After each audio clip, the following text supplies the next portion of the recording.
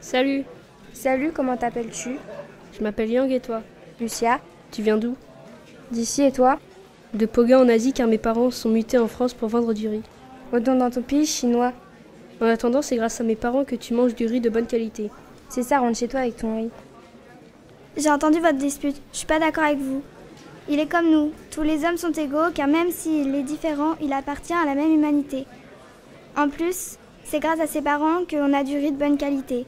Aussi, ce n'est pas une raison pour le traiter de cette sorte.